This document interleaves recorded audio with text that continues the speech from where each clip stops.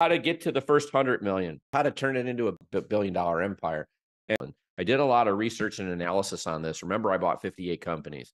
So I gave 58 entrepreneurs wheelbarrows full of money. You know, uh, I, I made them wealthy. I deconstructed their businesses. I owned their businesses. Uh, I then combined them and built these bigger ones. And so a lot, a lot of research and effort went into this one, really to, to try to determine what goes wrong with the 93% who never get to a million. What goes wrong with the the 96% who hit a million but don't make it to 10 million? And really focus on how to simplify success so that anybody can achieve it.